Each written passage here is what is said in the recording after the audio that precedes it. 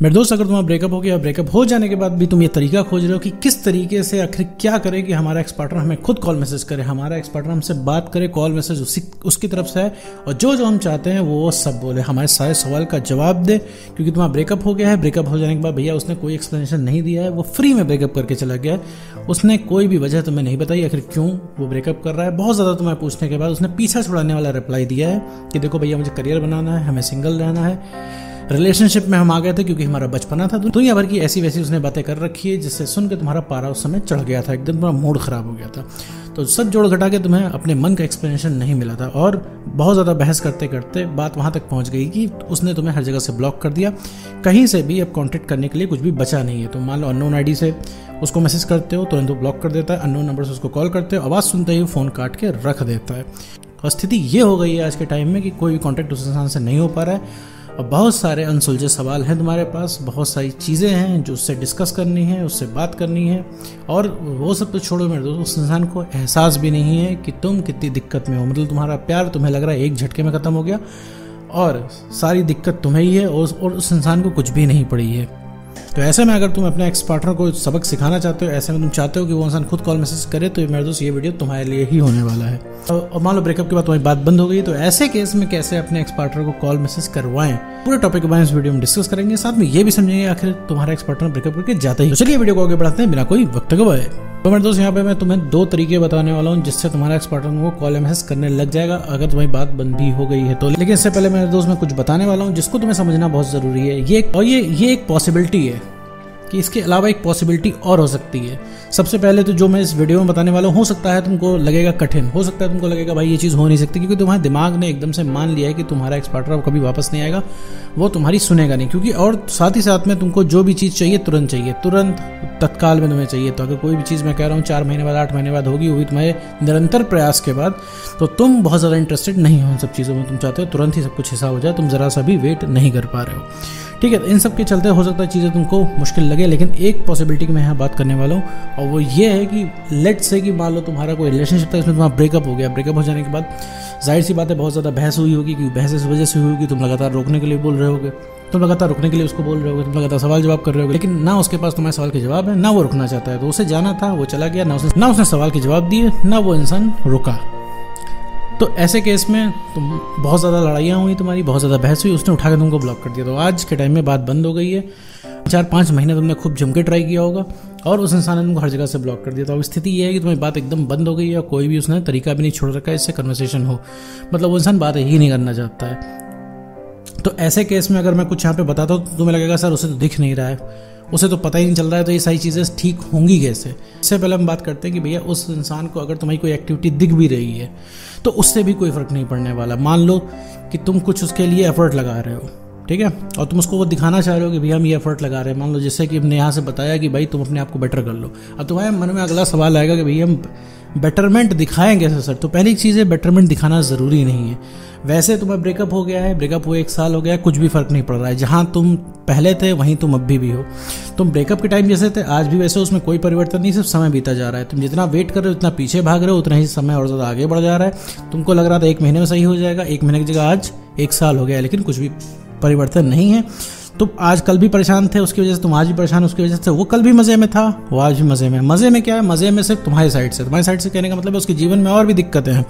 लेकिन वो रिलेशनशिप के मामले में खुश है, क्योंकि तो उस इंसान ने तुमसे ब्रेकअप कर लिया है सिर्फ़ इस वजह से चीज़ें बहुत ज़्यादा कॉम्प्लिकेट हो रही थी, वो इंसान फ्रस्ट्रेट हो रहा था, और उसकी वैल्यू तुमने बहुत ज़्यादा बना दी थी, और तुम उसके जीवन में इतना ज़्यादा अवेलेबल हो गए थे कि उस इंसान ने तुम्हें कदर करना छोड़ दिया, इस वजह से वो इंसान ब्रेकअप करके मज़े में हो गया क्योंकि उसे पता है तुम कहीं जा नहीं रहे हो। तो वापस आते हैं मुद्दे पे, मेरे दोस्त बात करते हैं उस पॉसिबिलिटी की, मान लो तुम कि तुम कुछ भी नहीं करते हो, कुछ भी नहीं करते हो तो ऐसा ही समय बीतता जाएगा, अगर तुम्हारी हालत यही रही तो ऐसा ही समय बीतता जाएगा, एक साल, दो साल, पाँच साल, दस साल, उससे कुछ भी नहीं होगा मेरे दोस्त।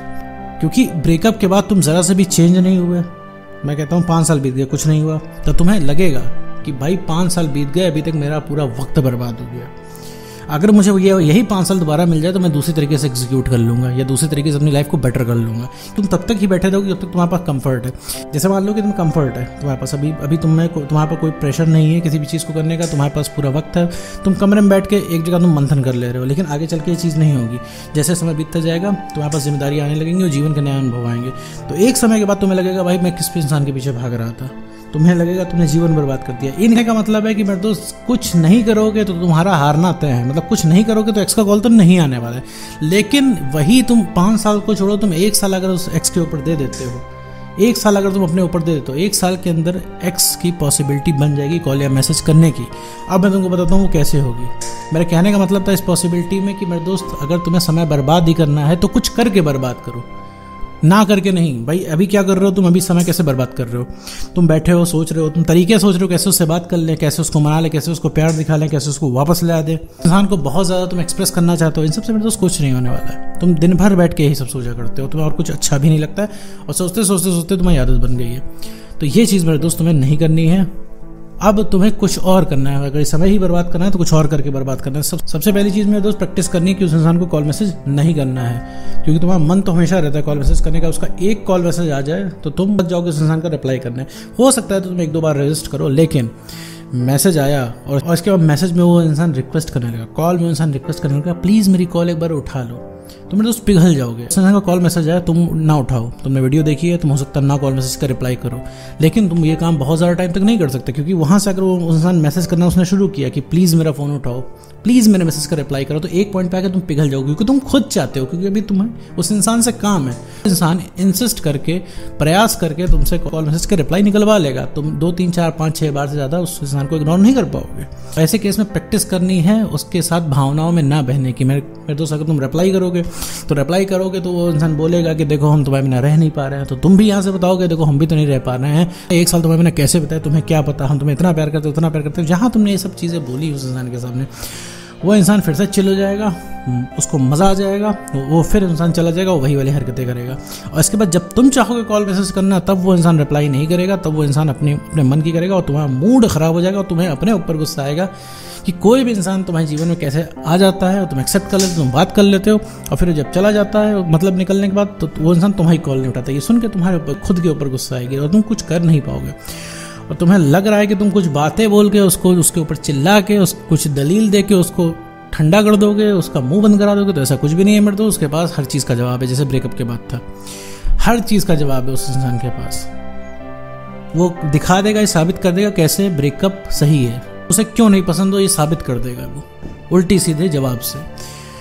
तो इस चीज़ की मेरे दोस्त, तुम्हें प्रैक्टिस करनी पड़ेगी कि उसके कॉल, उसका कॉल मैसेज आए तो तुम्हें नॉर्मल रिप्लाई करना है, क्योंकि नॉर्मल रिप्लाई से ज़्यादा इम्पैक्टफुल कुछ भी नहीं हो सकता। अब आते हैं मुद्दे पे कि सर कॉल ही मैसेज नहीं आता तो हम करेंगे दोस्त, पहली चीज़ समझो कि तुम्हें अपने ऊपर काम करना है, तुम्हें रिलेशनशिप के पीछे नहीं भागना है। अभी तुम्हारा ब्रेकअप हुआ है रिलेशनशिप के पीछे भाग रहे हो, तुम किसी तरीके से भी चाह रहे हो कि भैया तुम्हारा एक्स वापस आ जाए। तुम्हारे दिमाग में भी आ रहा होगा, कहीं तुम दूसरा रिलेशनशिप में चले जाओ।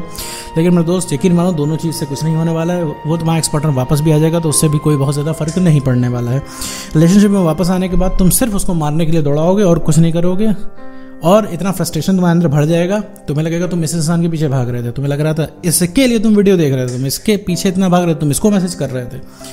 क्योंकि वो अगर तुम्हारे पास रहेगा तो तुम्हें उससे दूर जाने का मन करेगा, और अगर वो इंसान दूर है, तुम्हें पास लाने का मन करेगा, ठीक है? तुम्हें उसके साथ रिलेशनशिप रखने का मन करेगा, और रिलेशनशिप में हो जाएगा तो उससे ब्रेकअप करने का मन करेगा, क्योंकि ब्रेकअप के समय इतनी ज़्यादा चीज़ें खराब हो गई थी, और दूसरी चीज़ सबसे बड़ी प्रॉब्लम है तुम्हारी सेल्फ रिस्पेक्ट तुम्हारी सेल्फ रिस्पेक्ट एकदम खत्म हो चुकी है, जिस वजह वजह से मेरे दोस्त वो और तुम्हारी सेल्फ रिस्पेक्ट एकदम खत्म हो चुकी है, जिस वजह से उस इंसान ने ब्रेकअप किया। और अभी तुम अभी तो इमोशनली स्टेबल भी नहीं है तो वो इंसान आएगा तुम उसे दूर भगाओगे और फिर चला जाएगा तुम फिर उसे वापस पाना चाहोगे। तो सिर्फ़ ये सिर्फ़ टॉक्सिक होगा और कुछ भी नहीं होगा। तो सिर्फ़ अपने ऊपर काम करो मेरे दोस्त अपने ऊपर काम करो। अपने आप को प्रायोरिटी बना दो तीन चीज़ें तुम्हें पकड़ के ही रखनी है। सबसे पहली चीज़ है कि नॉर्मल रिएक्शन देने की प्रैक्टिस करो। दू, दूसरी चीज़ें कोई पुरानी बात नहीं करनी कोई रिलेशनशिप की बात नहीं करनी कोई सवाल जवाब नहीं करना। चार चीज़ें तुम्हें प्रैक्टिस करनी है।